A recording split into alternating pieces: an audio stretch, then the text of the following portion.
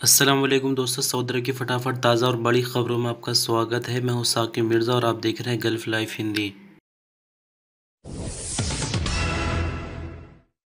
Saudi Arab के विदेश मंत्री और कैबिनेट के मेंबर आदिल अल जुबैर ने इंडिया के विदेश मंत्री से टेलीफोन पर बात करके सऊदी अरब और भारत के द्विपक्षीय संबंधों पर अपने विचार विमर्श करे। सऊदी अरब की सरकारी एजेंसी एस के मुताबिक, इंडिया के foreign minister doctor Subrahmanyam Jaishankar और आदिल अल जुबैर ने भारत और सऊदी अरब की दोस्ती और संबंधों को लेकर ही बातचीत हुई है, यानी कोई ख़ास बातचीत नहीं हुई, एक नॉर्मल सी बातचीत दोनों फॉरेन मिनिस्टर के बीच हुई है, लेकिन आप और हम जो उम्मीद यहाँ पर लगा रहे थे कि कोई बात होती फ़्लाइट को लेकर, और हो सकता है कि दोनों विदेश मंत्रियों के बीच फ़्लाइट को लेकर भी कोई बात हुई, लेकिन अगर कोई नतीजा अभी ना निकला हो तो न्यूज़ में ये बात पब्लिश नहीं की है।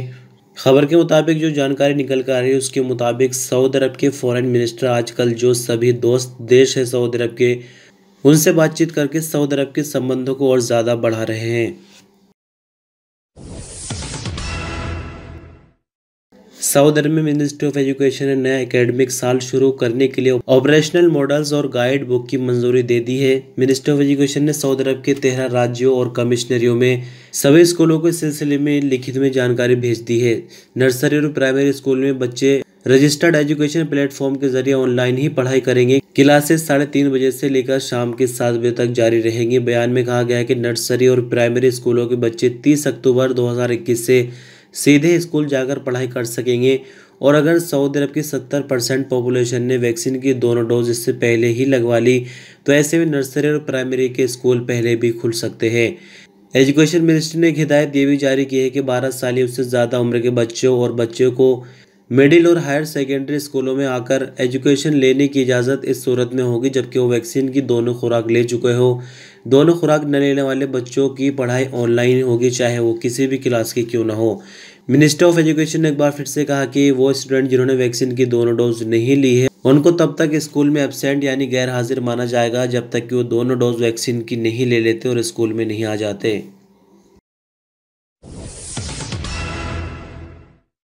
सऊदी अरब में ट्रैफ़िक विभाग का कहना है कि सऊदी अरब के बाहर रहने वाले अजनबी वर्कर ड्राइविंग लाइसेंस को रिन्यू करा सकते हैं। अखबार 24 के मुताबिक, एक अजनबी वर्कर ने ट्रैफ़िक विभाग से सवाल किया था कि सऊदी अरब के बाहर रहते हुए ड्राइविंग लाइसेंस को रिन्यू करा जा सकता है या नहीं। सवाल ये भी किया गया था कि ड्राइविंग लाइसेंस को रिन्यू के वक्त सऊदी अरब के बाहर मौजूद होने की सूरत में आँखों का जो टेस्ट है वो संबंधित मुल्क के किस सेंटर से करवाकर उसकी रिपोर्ट भेजी जा सकती है। सऊदी ट्रैफ़िक विभाग ने इस सवाल का जवाब देते हुए कहा कि उम्मीदवार संबंधित मुल्क की सऊदी एम्बेसी या कौंसलेट जाकर आँखों का टेस्ट करवा सकते हैं और उसके बाद जो रिपोर्ट है वो ट्रैफ़िक विभाग को ऑनलाइन भेज सकते हैं। आपकी जानकारी के लिए बता दें कि ड्राइविंग लाइसेंस और गाड़ियों के रजिस्ट्रेशन कार्ड यानी इस्तेमारा जिसको बोला जाता है, उसके लेट रिन्यूअल पर जुर्माना लगाया जाता है। ट्रैफ़िक कानून की दफ़ा इकहत्तर के मुताबिक लाइसेंस और रजिस्ट्रेशन कार्ड को रिन्यू कराना एक्सपायरी डेट से 180 दिन पहले भी मुमकिन है।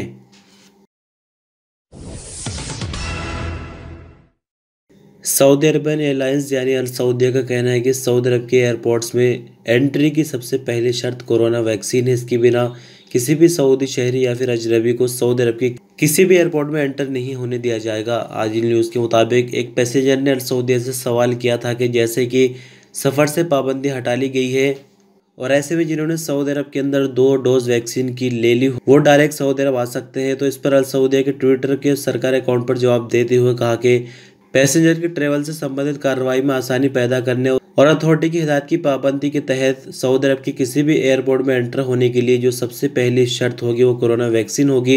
एयरपोर्ट पहुँचने पर तवक्ल ऐप के ज़रिए ये साबित करना होगा कि एयरपोर्ट पर पहुँचने वाले बंदे ने वैक्सीन की दोनों डोज ली हो।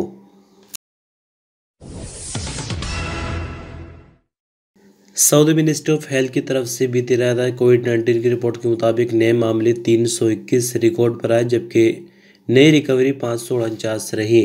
इसी बीच आठ लोगों की नई मौत की खबर है, जिसके बाद कुल मरने वालों की तादाद बढ़कर आठ हज़ार पाँच सौ पाँच हो जाती है, और जिस तरह से नई रिकवरी ज़्यादा निकल रही तो एक्टिव मामलों में लगातार गिरावट हो रही है। तो फ़िलहाल तक एक्टिव मामले कम होकर चार हज़ार एक सौ इकतालीस पर आ गए हैं, जिनमें से एक हज़ार तिरासी क्रिटिकल केस, जो कि हालत नाजुक की वजह से आईसीयू में हैं। सऊदी भर में अब तक कुल मामलों की तादाद पाँच लाख तैंतालीस हज़ार अट्ठाईस हो गई है। इनमें से पाँच लाख तीस हज़ार तीन सौ बयासी लोग कोरोना से ठीक भी हो चुके हैं।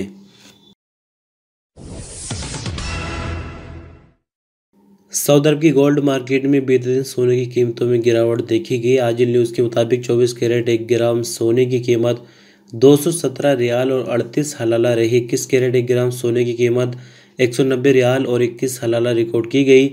18 कैरेट, एक ग्राम सोने की कीमत एक सौ तिरसठ रियाल और तीन हलाला रही। 24 कैरेट, एक ग्राम सोने की कीमत एक सौ छब्बीस रियाल और अस्सी हलाला रही। एक ओन सोना सऊदी अरब में छः हज़ार सात सौ इकसठ रियाल और पच्चीस हलाला में बेचा गया, जबकि आठ ग्राम वाले सोने के बिस्किट की कीमत कम होकर पंद्रह सौ इक्कीस रियाल और छियासठ हलाला हो गई। इंटरनेशनल गोल्ड मार्केट में सोना 1800 डॉलर से भी ऊपर पहुँच गया।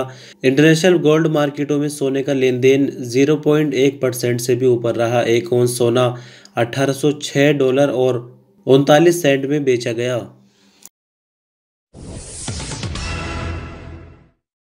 सऊदी अरब की हेल्थ मिनिस्टर का कहना है कि सऊदी अरब में कोरोना वैक्सीन की तीन करोड़ उनचास लाख अट्ठानवे हज़ार आठ सौ छः डोजेज अभी तक लगाई जा चुकी है। अखबार ट्वेंटी फोर के मुताबिक हेल्थ मिनिस्ट्री का कहना है कि इक्कीस पॉइंट छः मिलियन लोग वैक्सीन की पहली डोज, जबकि तेरह पॉइंट तीन मिलियन लोग वैक्सीन की दूसरी डोज और एक पॉइंट पाँच सात मिलियन बूढ़े लोगों को वैक्सीन लगाई गई है। हेल्थ मिनिस्ट्री का कहना है कि बीते चौबीस घंटों के दौरान ही सऊदी शहरी और अजनबियों को तीन लाख अट्ठारह हज़ार से ज़्यादा डोज दी गई है। आपकी जानकारी के लिए बता दें कि सऊदी हेल्थ मिनिस्ट्री ने कोरोना वैक्सीन का पहला चरण 17 दिसंबर 2020 को शुरू किया था, जबकि बीच में वैक्सीन की किल्लत हो गई थी और काफ़ी लंबे टाइम के लिए वैक्सीनेशन का सिलसिला रोक दिया गया था और दोबारा यानी 18 फरवरी 2021 से वैक्सीन का दूसरा चरण शुरू किया गया, जो कि लगातार जारी है।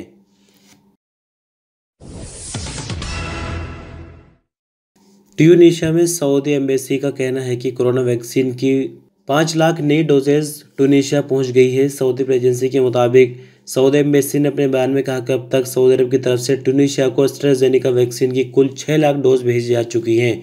आपकी जानकारी के लिए बता दी कि सऊदी अरब ने ट्यूनिशिया को 10 लाख वैक्सीन की डोज देने का वादा किया हुआ है। सऊदी एम्बेसी ने अपने बयान में कहा कि एस्ट्राजेनिका बनाने वाली कंपनी सीधे ट्यूनिशिया वैक्सीन पहुँचा रही है। किंग सलमान ह्यूमैनिटेरियन सेंटर ने एस्ट्राजेनिका कंपनी से यही कॉन्टैक्ट किया हुआ है कि वैक्सीन की सप्लाई में देरी न की जाए और ट्यूनिशिया की ज़रूरत को पहली फुर्सत में पूरा किया जाए।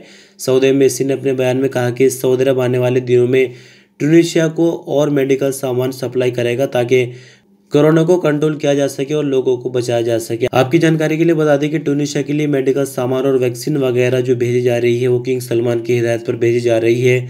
सऊदी अरब ने टूनिशिया को विश्वास दिलाया था कि कोरोना वायरस से निपटने के लिए जो भी सऊदी अरब की तरफ़ से मदद हो सकेगी, पॉसिबल वो करने को तैयार है। सऊदी मिनिस्ट्री ऑफ़ इंटीरियर ने कहा कि सऊदी शहरी के कत्ल का इल्ज़ाम साबित हो जाने पर एक यमनी को बुध को जद्दा में मौत की सज़ा दे दी गई। सऊदी अरब की सरकारी एजेंसी एस के मुताबिक मिनिस्ट्री ऑफ़ इंटीरियर ने अपने बयान में कहा कि यमनी शहरी मोहम्मद सालिम अहमद अल शरारी ने सऊदी शहरी अहमद बिन सईद बिन मोहम्मद अलामोदी को रस्सी से गला घोंटकर मौत के घाट उतार दिया था।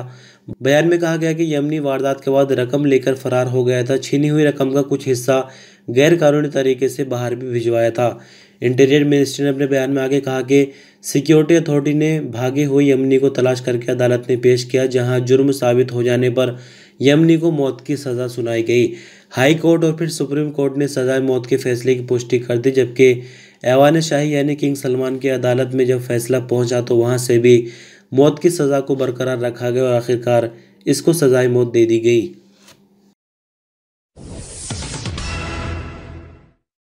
और अंत में बात करेंगे मौसम को लेकर। सऊदी मौसम विभाग का कहना है कि जुमरात यानी 26 अगस्त को जाजा नसीर बाहा और मक्का मुकर्रमा के ऊपरी इलाकों पर बारिश, जबकि तेज़ हवाओं के साथ ओलाबारी की भी उम्मीद है। मौसम विभाग का आगे कहना है कि ज़्यादा बारिश होने की वजह से जल भराव की स्थिति बन सकती है। बारिश और ओलाबारी का सिलसिला मदीना मुनवरा के ऊपरी इलाकों तक भी फैल जाएगा।